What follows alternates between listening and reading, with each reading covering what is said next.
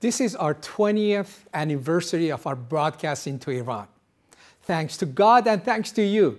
Yes, it was 20 years ago, right after 9 11, when I felt the urgency. We need to do something.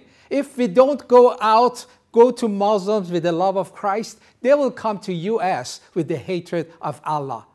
But how are you going to do it? Iran is closed country. The uh, churches are closed. You cannot preach the gospel. Oh, yeah. Then I felt, yeah, you could use media, you could use satellite television to go over the heads of the mullahs into the privacy of homes and tell them about the love of Christ. And that's what we did. On December 1st, 2001, was our first broadcast. This has been 20 years.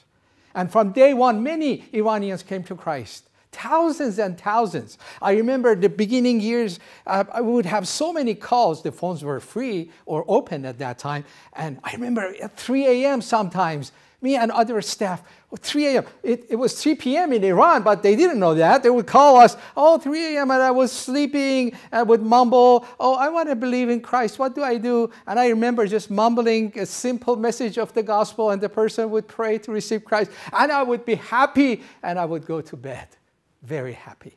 Over the years, the Lord has used us to bring so many Iranian Muslims to Christ, especially the last two years. We have the names of over 70,000 people who have come to Christ through us. Of course, many come to Christ, but they never contact us because it's dangerous and it's hard.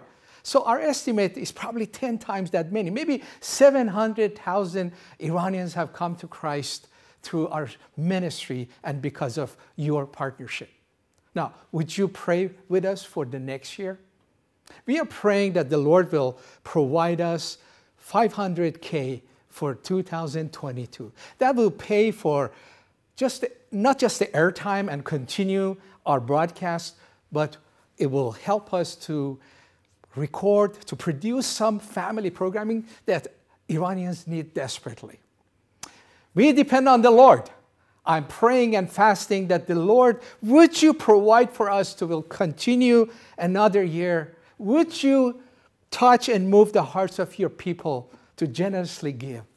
We depend on the Lord.